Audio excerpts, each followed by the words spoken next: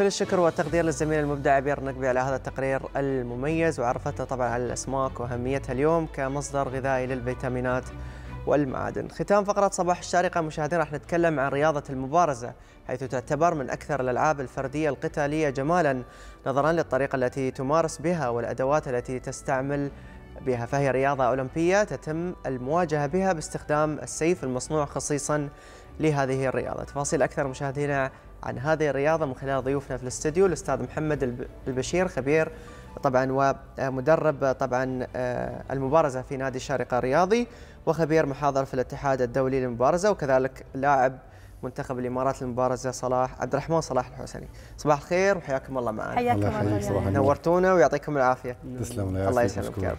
بداية الحديث مع أستاذ محمد نتكلم عن يعني بشكل مختصر عن نشأة آه هذه الرياضه وتاريخ آه طبعا تاريخ ظهورها.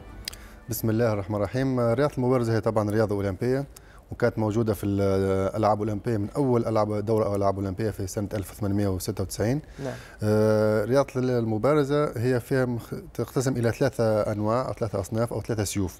في سلاح الشيش المعروف أو سلاح الفلوري سلاح الصابر أو السيف العربي وسلاح سيف المبارزة. نعم. الاختلاف في الرياضة هذه أن هي أصلا كانت رياضة قتالية كانت يعني منازمة بين شخصين ويعني في العصور الوسطى خاصة في أوروبا كانت يعني لما واحد يتحدث شخص ثاني يكونوا يتبارزوا بالسيف لغاية الموت. نعم. بعدين تحولت إلى رياضة. التحول هذا خلى الاستعمالات الثلاث للسيوف السلاح الشيش أو الفلوري اللي هو موجود تحتي هذا نعم. هو يستعمل للتعليم. كان آه. تاريخيا كان يستعمل للتعليم فقط. نعم. يعني هو كان اللاعب أو المبارز يتعلم على المدرب بالسلاح ال fleuret أو الشيش. وبعدين لما ينزل المنازله الحقيقيه يستعمل سلاح ال épée اللي هذا يعتبر قبل يعني في التاريخ السلاح الحقيقي للمنازلة. يعني هذا يتعلم به هذا هذا شوي خفيف عشان تتعلم المهارات تكون أخف السيف تتعلم المهارات والتكنيك المعين للسيف. بعدين لما تنزل المنازلة الحقيقية تستعمل السيف الحقيقي هو بعدين تحول إلى سلاح ال épée. سلاح سيف ال sabre يختلف شوي على الأسلحة الثانية إنه السلاحين الثانيين هم ال fleuret وال épée. كانت تستعمل بس يعني بطريقه اللمس بالذبابة أو بال pointe نعم. سلاح السيف هذا السيف العربي أو ال sabre هذا جاي أكثر من من الخيل من الخياله من الخيال نعم. من الخيال. فهذا يستعمل القطع. يعني مو بس ألمس بالطريقة هذا حاد ولا؟ لا مو حاد. طبعا آه. هو عشان صارت رياضة صار تعديل فيه. قبل كان حاد يعني تاريخيا بس حاليا لا صار مو حاد يعني لما تشوف هنا. في نفس الذبابة هذه بالضبط يعني ما, ما تعور يعني, يعني. تحمل هذا. فهذه هي تاريخ رياضة المبارزة. طبعا هي تمارس من الجنسين من الذكور والإناث. تاريخيا كانت بس لما بدأت كانت فلوري وإيبي صابر للذكور ومعهم الفلوري بس الإناث.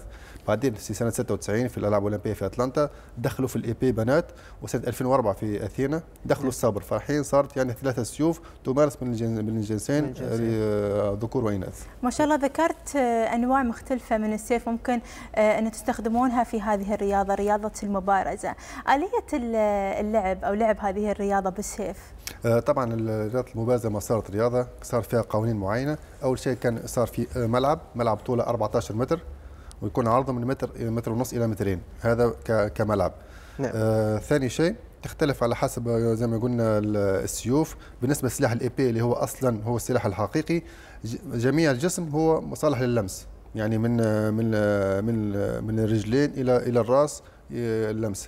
بالنسبة لل fleuret نعم. اللي هو كان أصلا في تاريخيا في التعليم بس الصدر والظهر هي منطقة اللمس. جميل. سلاح ال sabre اللي هو قلنا أصله من من الخيل هو بس النصف العلوي من الجسم يعني الرجلين غير صالحة لللمس نعم. هذه وبالنسبة لطريقه اللعب يكون في أول شيء دور المجموعات يكون. على خمس لمسات وبعدين دور خروج المغلوب لغاية 15 لمسة واللاعب اللي يوصل 15 لمسة الأول هو اللي يفوز بالمباراة. جميل حلو يعني في فئات عمرية وفي ضوابط معينة لهذه اللعبة. صحيح. آه عبد الرحمن ما شاء الله آه لاعب محترف آه بدايه كم عمرك؟ 14 سنة. ما شاء الله عليك. صغير يعني. آه كيف خبرنا قصتك مع هذه ال ال ال يعني الرياضة. الرياضة. بداية أن أنا كشخص كنت طالب في المدرسة عادي نعم. ما بعيد عن الرياضة أبدا. كل أنواع الرياضة. كل أنواعها.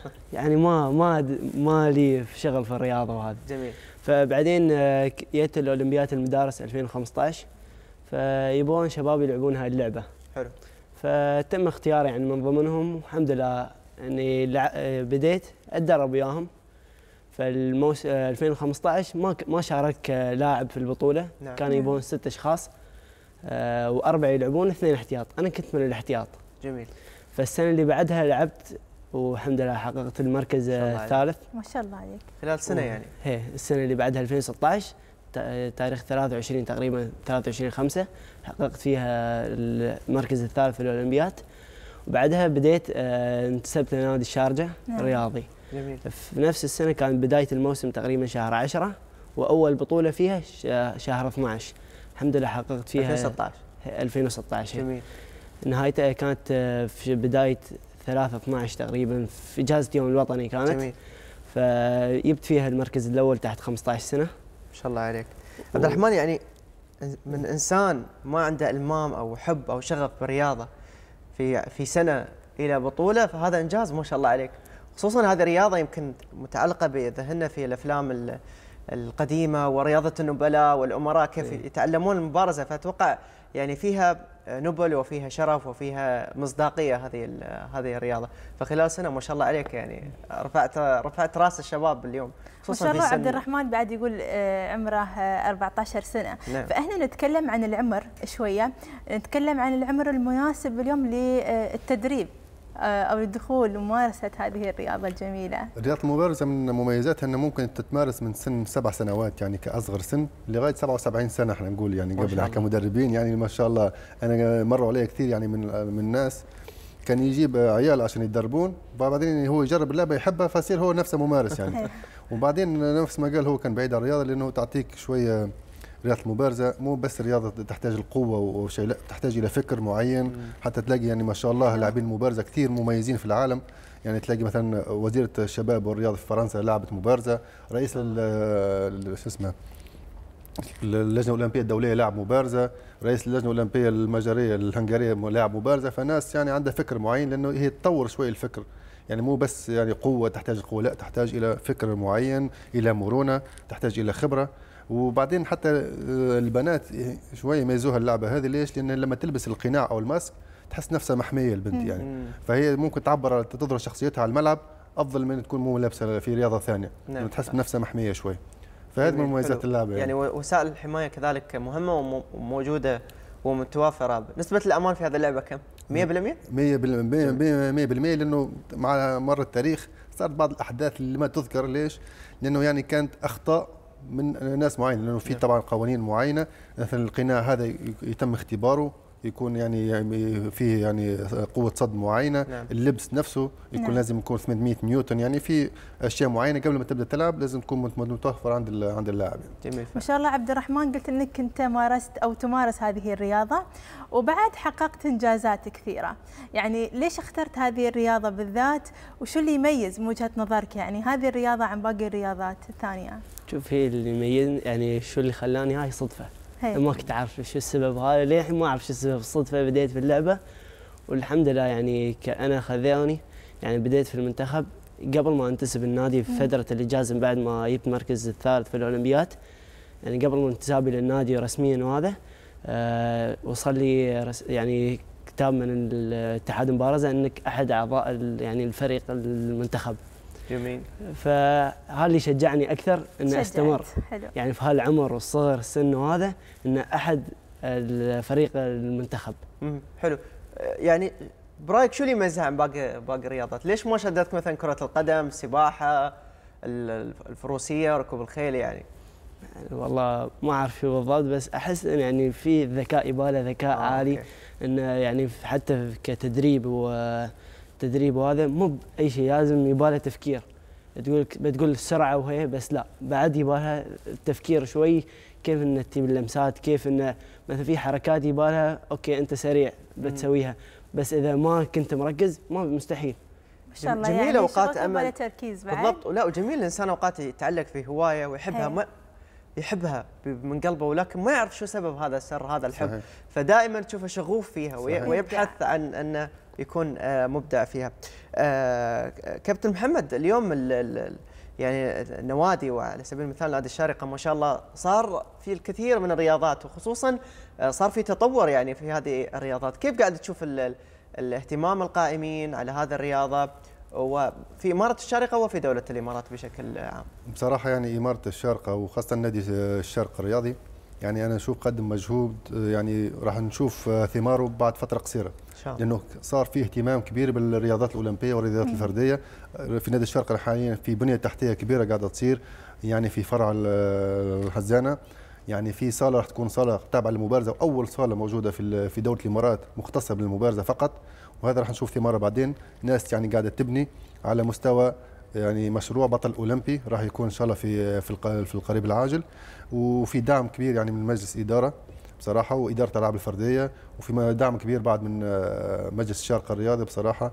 قاعد يساعد فينا كثير وموفر لنا جميع التسهيلات من معدات من معسكرات أو شيء. يعني في برنامج طويل إن شاء الله يعني حنشوف ثماره قريب يعني. ان شاء الله. إن شاء الله ندخل تفاصيل أكثر شوي في هذه اللعبة الجميلة أو هذه الرياضة المميزة. يعني آه، خلينا نتكلم شوي عن الطريقة الصحيحة. اليوم اللي آه، مسك السيف على سبيل المثال طريقة آه، التعامل اليوم مع الخصم على سبيل المثال وغيرها من الأشياء هذه. كيف ممكن أنتم تعلمون اليوم المبتدئين؟ يعني كيف تشوف عبد الرحمن يعني؟ عبد الرحمن ما شاء الله من اللاعبين المميزين. يعني بعدين بعد شوية راح نسوي تقريبا عرض لدرس. إحنا في شوية رياضة مبارزة يكون في علاقة خاصة ما بين اللاعب والمدرب إن المدرب يقف قدام اللاعب ويعطيه يعني تقريبا حالات معينة من اللاعب. هو لازم يلاقي الحلول. كأنه في وسط في اللعب يعني. لازم يلاقي الحل. أنا أعطيه مشكلة يعني راح نشوفها بعد شوي. هو لازم يلاقي الحل كيف إنه يتفادى إني أنا ألمسه وهو يجيب اللمس بطريقة معينة. في تكنيك معين وأنا أحاول أوجهه كل مرة آه، إلى مكان معين وراح نشوفها بعد شوية يعني. في وقت معين عشان يوجد هذا الحل لهذه المشكلة؟ طبعا إذا هو راح يتأخر أنا راح كمدرب شو راح أقول له؟ أو راح ألمسه على طول. نعم. فالعقاب راح يكون لمس فهو راح يحس إنه في خطأ صار لازم يكون أسرع مثلا. آه جميل. أو إذا هو راح مكان ثاني نروح لمكان لا. لازم أنت إذا ما حصلت في المكان هذا سيفي تروح المكان الثاني فأنا دائما أقترح له يعني كمدرب أقترح له حالات معينة ولازم هو يلاقي الحل. نعم. ممكن بعض الأحيان يخطئ. جميل. وهذا زين لأنه لما تخطئ تتعلم. بس جميل. أهم شيء إنك لما توصل للعب تكون أنت فاهم شو اللي صار يلا يلا نبغى نشوف نبغى نختبر عبد الرحمن. يلا تفضل. يلا بسم الله. بسم الله نتابع معكم مشاهدينا يعني طبعا عبد الرحمن خلينا بس للناس المشاهدين. هو لاعب منتخب الفلوري. فإحنا راح نقدم حاليا درس في سلاح الفلوري. حلو. يلا نتعلم من العسب شكلي أنا بدخلها. وايد في أنواع ما شاء الله. إيه في ثلاث أنواع زي ما قلنا سلاح ال épée وال sabre وال fleuret. حاليا راح نطلع سلاح الشيش أو سلاح ال fleuret. راح نشتغل هنا. ما أدري راح أوقف أنا بالطريقة دي الكاميرا من من هنا هيك خلي هو يكون مقابل الكاميرا. احسن خلي أوقف أنا. هنا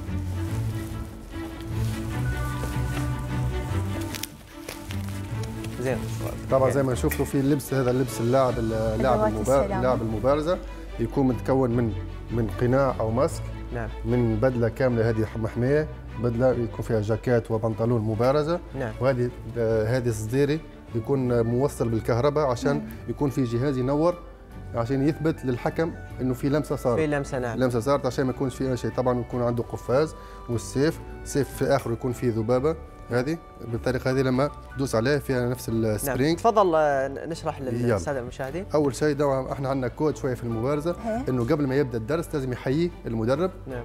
وبعد ما الدرس لازم يحيي المدرب. أول شيء نبدأ بالتحية. بيكون بالطريقة هذه. واحد اثنين ثلاثة. بعدين البس ال mask.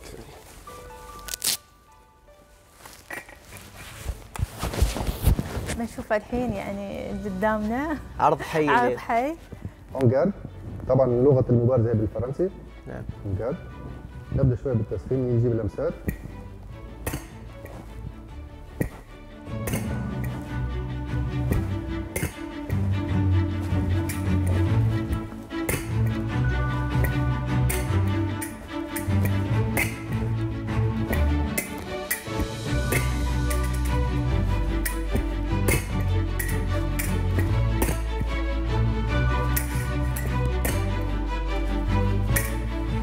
هذه الحركات شو هذه بالضبط؟ هذه حاليا أنا قاعد أسخن فيه. آه فأنا الحين يعني عشان يسخن بس إيده شوي قبل ما نبدأ شوي الدرس. فأنا الحين شو أعطيه؟ أنا أوجه له السيف هنا يعني أهدد منطقه الهدف. آه نعم. لازم يحمي نفسه. حلو. بعد ما يحمي نفسه من حقه يجيب عليه اللمسه بس يحمي نفسه وبعدين يجيب اللمسه إذا أنا غيرته هنا يروح مكان تحت نفس الشيء ويجيب اللمسه ممكن نفس الشيء نسوي مع الحركة أتقدم أنا. أو هو يقدم. يلمس. أوكي؟ نفس الشيء هنا لما افتح له مسافة يسويها مع الطعن. نعم.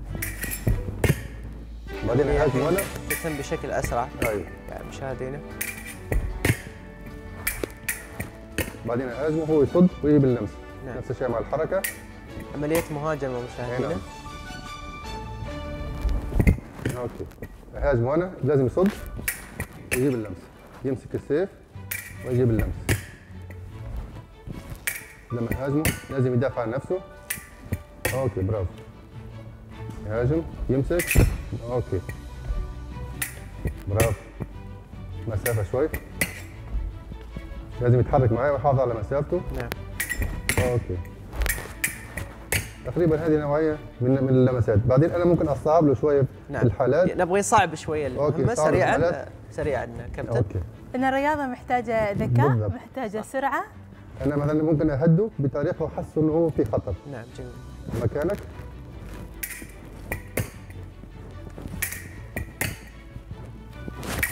الحين أنا لمسته فعارف إنه هو في مشكله لازم يحل. نعم.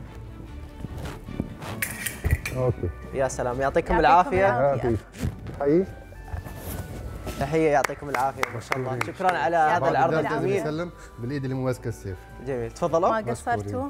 شكرا كابتن تجرب محمد. إسماعيل شو رأيك بعد ما شفت؟ لا بعد ال- بعد البرنامج. كل الشكر والتقدير. طبعا شكرا للأستاذ محمد البشير خبير مدرب المبارزة في نادي الشارقه الرياضي. العفو. وكذلك خبير محاضر في الاتحاد الدولي للمبارزة. وكذلك لاعب منتخب الإمارات للمبارزة عبد الرحمن صلاح الحسني يعطيكم العافية. شكرا لوجودكم. ونتمنى لكم التوفيق إن شاء الله. مشكورين على الدعوة. الله ويعطيكم يسلمك. العافية. شكرا. شكرا الله. لكم. اذا مشاهدينا إلى هنا وصلنا إلى ختام جميع فقرات صباح الشارقة اليوم. الاحد نلقاكم بإذنه تعالى غدا في حلقة جديدة بمواضيع مختلفة. اترككم في حفظ الله ورعايته.